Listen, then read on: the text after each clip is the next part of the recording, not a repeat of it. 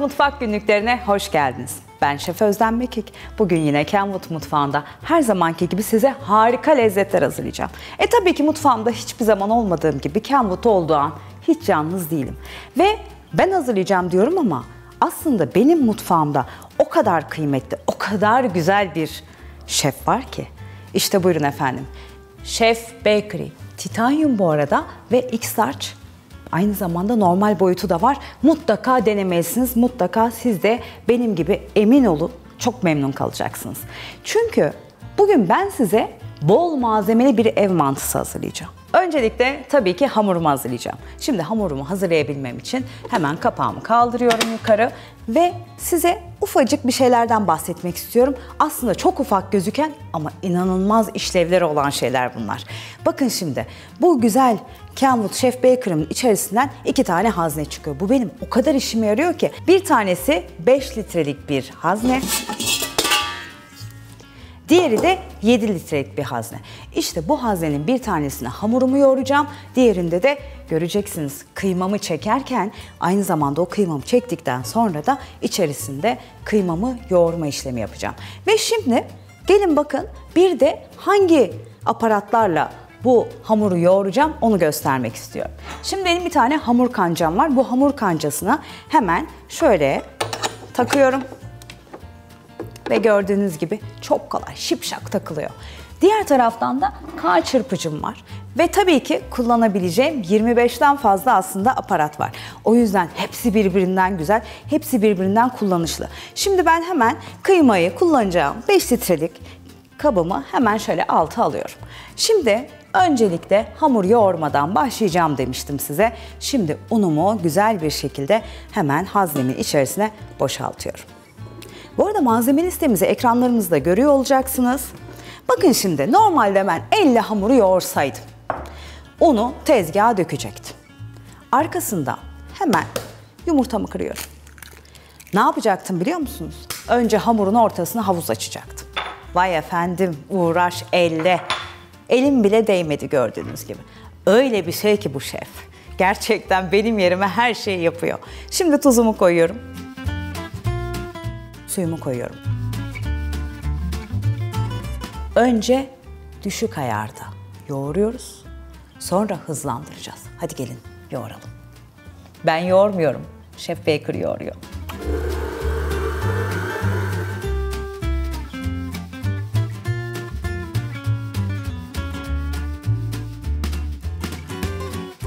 Ne yorulduk.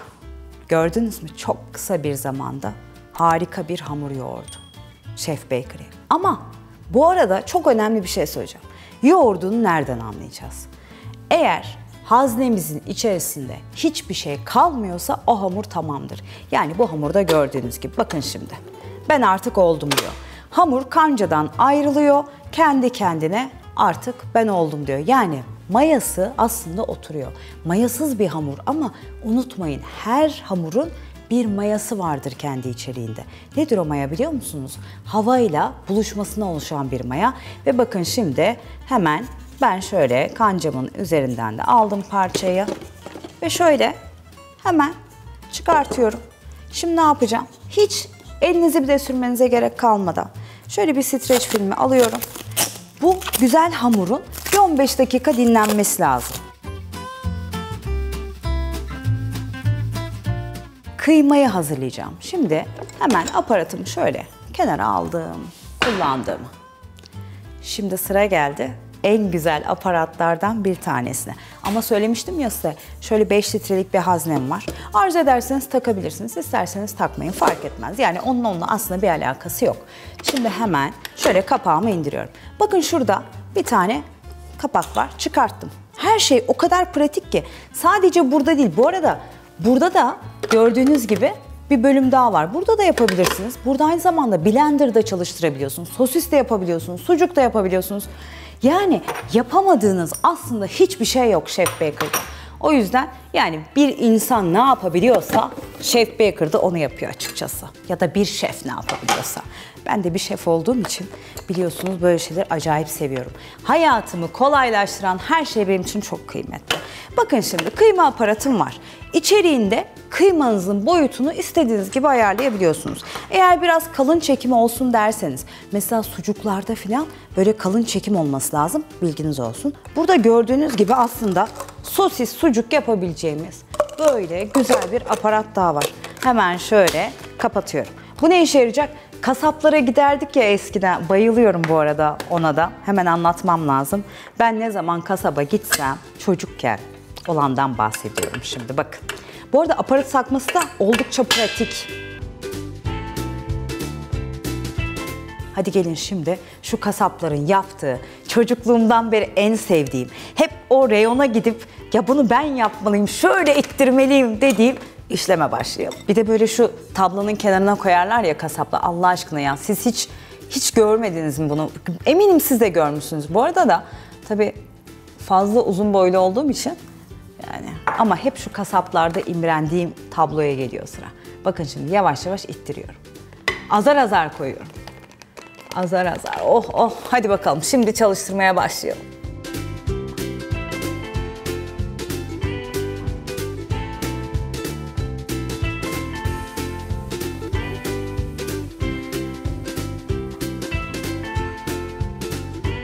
Gördüğünüz gibi bir kasap edasıyla harika bir kıymam böylece olmuş oldu.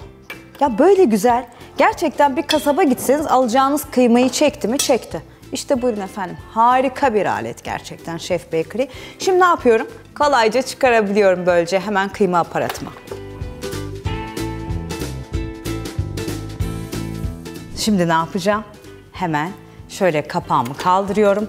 Bol malzemeli ev mantımın iç harcını şimdi yoğurma işlemine geçeceğim. Kağıt çırpıcı aparatımı şöyle kolayca takıyorum. Oldukça pratik. Daha önce kıyma aparatımını çıkarttım. Şöyle hemen kapağını taksanız olur, takmasanız olur. Takmanız tabii ki daha güzel. Şimdi size öyle bir özellikten bahsedeceğim ki bakın biz şeflerin en büyük sıkıntısıdır. Siz de hanımların evde. Bu hamur hazırlarsınız, pasta yaparsınız. Aman efendim kaç gram un? Şefler tarif verir. 300 gram kıyma, 500 gram dana kuşbaşı, 300 gram un derler. Bunlar çok önemli bilgiler değil mi? İşte bunları Şef Baker sizin yerinizde mutfak tartınıza ihtiyacınız yok ekstra. Kendisi ölçüyor. Şimdi hemen 5 litrelik haznemin içerisine şöyle kıymamı koyuyorum. Bakalım kaç gram kıyma olmuş. Hemen şöyle 10 işareti var. Bastım.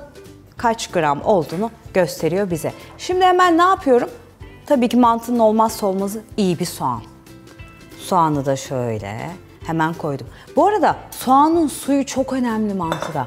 Sakın ha o suyu dökmeyin olur mu? Neden diyeceksiniz? Soğan suyu inanılmaz lezzet verir. Çiğ börek, mantı dediğiniz zaman o suyu mutlaka kullanın. Bu da önemli bir detay. Şöyle hemen tuzumu da koyuyorum.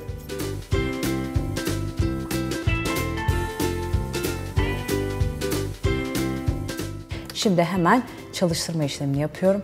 Birazcık kıymalı harcım da yoğrulsun.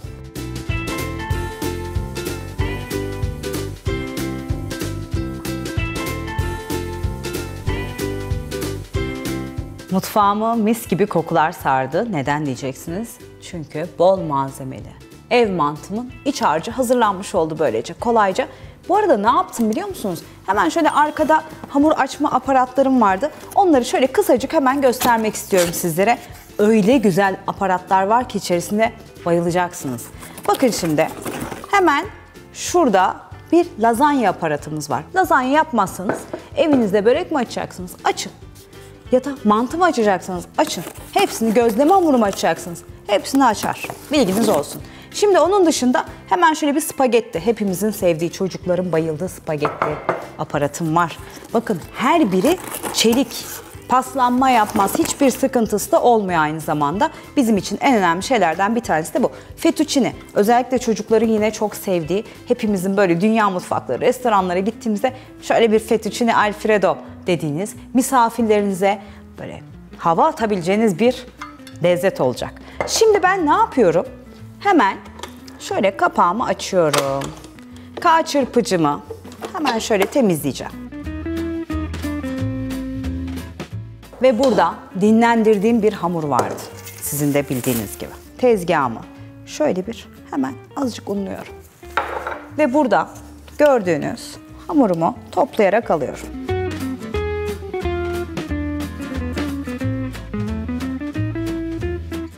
Evet hamurumu şöyle tezgaha koydum. E şimdi ne yapacağım biliyor musunuz? Sadece kullanacağım malzemeleri. Onları ayıracağım önüme. Bu arada gördüğünüz gibi lazanya yani hamur açma aparatımı takıyor olacağım. Hadi şimdi önce onu bir takalım. Şöyle bir ortadan kaldıralım. Şimdi yine kapağımı açıyorum.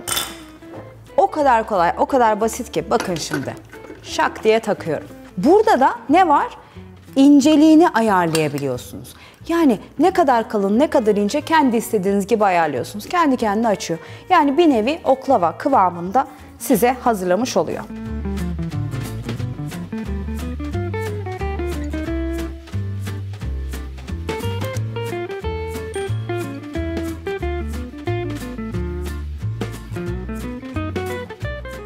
Evet ben böylece bezelerimi hazırlamış oldum. Gördüğünüz gibi sadece aslında yaptığım şey bezeleri ayırmak oldu. Onun dışında zaten Chef Baker benim yerime her şeyi yaptı. Şimdi ne yapıyorum? Hemen şöyle hamurumu elimle şöyle düzleştiriyorum. Bakın şimdi. Gelin hamuru buraya koydum. Ben bu arada hamur açma aparatımda 9 tane kademe var demiştim size dördüncü kademeyi kullanıyorum. Çünkü çok ince bir hamur olsun istemiyorum. Mantı hamuru orta halli bir hamur benim için kıvamı yeterli. Buradan hemen 4, 5, 6, 9 diye ayırabiliyorsunuz. Ben şimdi 4'e getirdim. Hamurumu açma işlemine geçiyorum.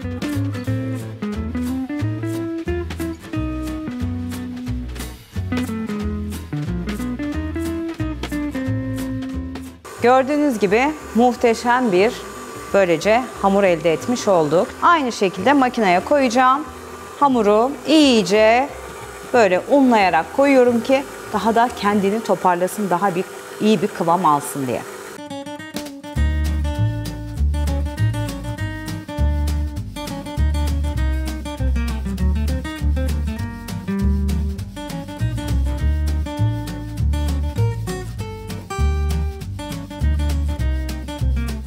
Düzgün bir hamur oluşması için kesiyorum.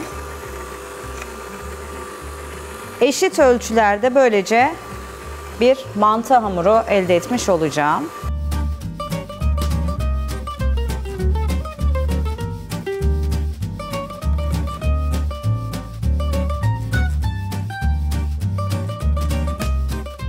Evet, Chef Baker o kadar güzel ki gerçekten 25'ten fazla aparatı olduğunu söylemiştim size daha önce. Ama bu aparatlardan neler var hemen biraz bilgi vermek istiyorum. Mesela böyle spiral olarak çıkartan bir aparatımız var. Ne koyarsanız koyun, işte salatalık koyun, havuç koyun, spiral kesme işlemi yapıyor, doğrama işlemi yapıyor. Aynı zamanda doğrayıcı var. Blender var. Tahıl öğütme, Chef Baker varsa evde yapamayacağın hiçbir şey yok. Bir şef edasıyla her şeyi o sizin yerinize yapıyor zaten.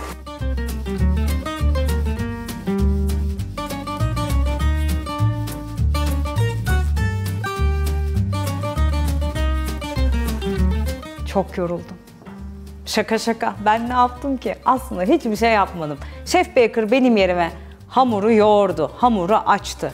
Hamurun kıymasını hazırladı. Daha ne yapsın yani? Kasap oldu. Hamurcu oldu. Daha ne olsun? Artık sıra geldi. Mantımı güzel güzel kesip kıymalı harcımı içine yerleştirmeye. Hemen şöyle aldım. Büyüklüğünü siz istediğiniz gibi ayarlayabilirsiniz. Tercih tamamen sizin. Şimdi ben hemen şöyle kesiyorum. Bazı yerlerine daha küçük, daha büyük nasıl isterseniz yapabilirsiniz. Şeklinde kendi istediğiniz gibi ayarlayabilirsiniz. Ben hemen şunları kenara ayıracağım. Annelerimizin usulü bir mantı. Şimdi buradan tuttuk, buradan birleştirdik. İşte bu standart bizim hep kullandığımız mantılardan bir tanesi.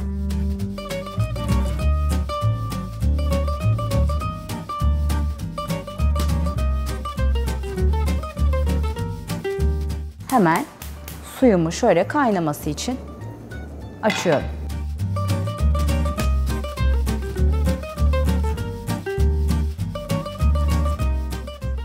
Suya mantı koyarken taze hamurda bir püf noktası.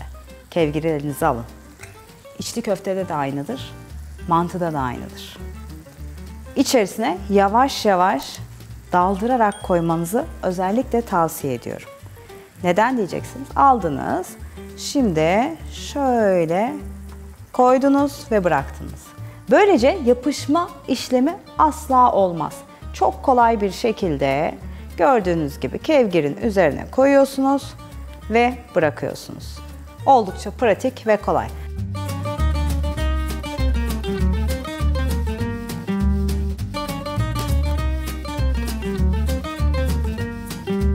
Evet mantım istediğim gibi oldu. Ne çok diri ne çok yumuşak. Aslına bakarsanız tam istediğim gibi de oldu diyebilirim. Şimdi hemen sosumu hazırlayacağım. Şöyle ocağımın altını birazcık kısıyorum. Şuradan hemen kaşığımı alıyorum. Önce tereyağı. Tereyağın yanmaması için çok az ben zeytinyağı kullanıyorum. Şöyle hemen kenara aldım. Şimdi sarımsaklı yoğurdumu daha önceden hazırlamıştım. İster sarımsaklı ister sarımsaksız tercih size bağlı.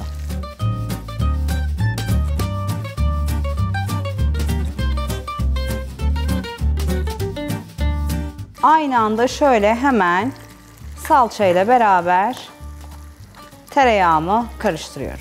Birazcık naneyi hem içerisine koyacağım hem de dışında da süslemede de kullanacağım. Biraz pul biber, pul bibersiz bir mantı düşünemiyorum şahsen. Hemen onu da şöyle bir karıştırıyorum. Buradan sonra artık salçayı iyice ezerek karıştırmanız lazım. Ondan sonra güzel bir şekilde sunum yapıyorum ve tekrar beraberiz.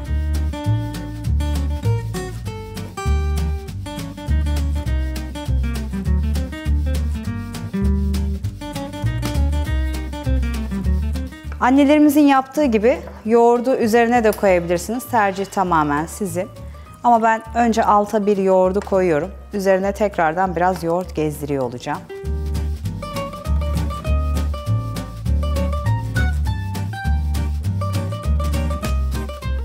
Bu arada Instagram sayfamızı Kamut Türkiye ve aynı zamanda da YouTube sayfamızı takip etmeyi, abone olmayı ve o güzel sayfalara yorum yazmayı sakın unutmayın. Şimdi hemen şuradan nanemi de alıyorum.